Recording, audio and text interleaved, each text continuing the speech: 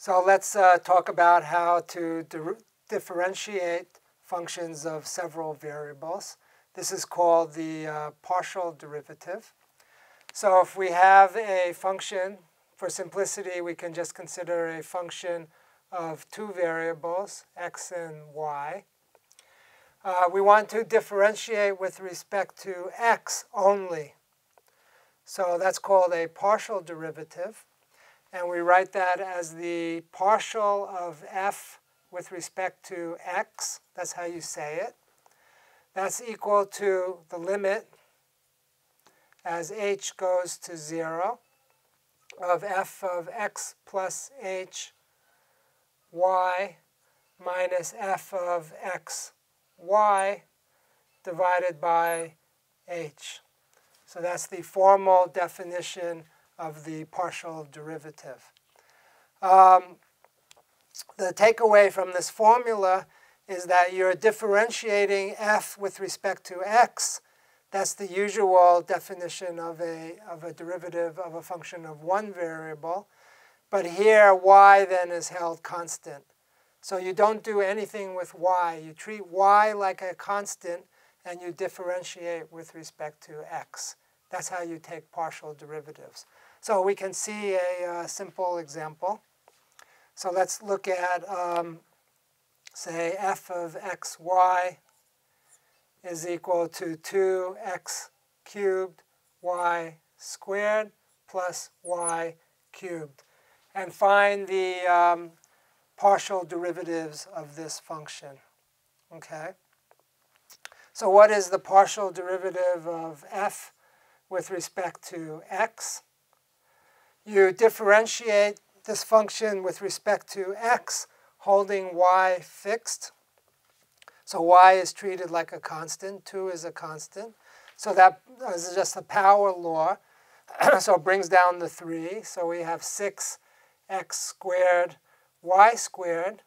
And the derivative of y cubed with respect to x is 0, because that's like the derivative of a constant. Okay, do this again. What is the partial derivative of f with respect to y, the second variable? We differentiate f with respect to y, keeping x fixed. So that means x is like a constant. So the y squared becomes 2y. So we have 4x cubed y. And the y cubed becomes 3y squared. Okay. Those are the uh, two first derivatives. Then we can do higher order derivatives for, for partial derivatives also. Here, let's look at the second derivative of f with respect to x squared. So partial squared f with respect to x squared. So we differentiate with respect to x again, keeping y fixed. So that will be 12xy squared. And the partial squared f with respect to y squared, we differentiate f again, um, keeping x fixed. That will be, um, the derivative of y is 1, so it's 4x cubed uh, plus 6y. Okay, and so on. That's the idea of taking partial derivatives.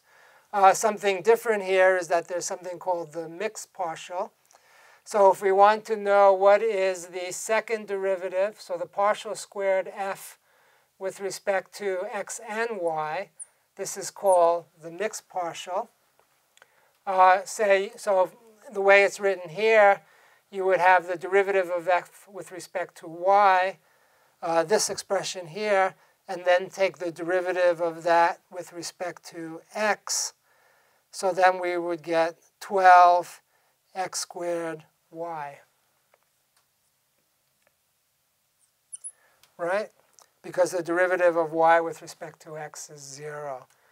On the other hand, we could have uh, reversed the order, so we could take the derivative of f with respect to x and then differentiate that with respect to y. And then we get 12 x squared y, the same answer. So this is the same as d squared f dy dx. The uh, mixed partials don't depend on the order that you take the derivative, okay? That's true for all reasonable functions. You can uh, make that mathematical if you impose a continuity on the functions and all its derivatives, okay? Engineers usually don't need to worry about that. Okay, what can you use uh, these partial derivatives for? Uh, one use is the uh, Taylor series. So we can expand functions in terms of their partial derivatives. Um, as an example then, if we want the Taylor series of f of x, y,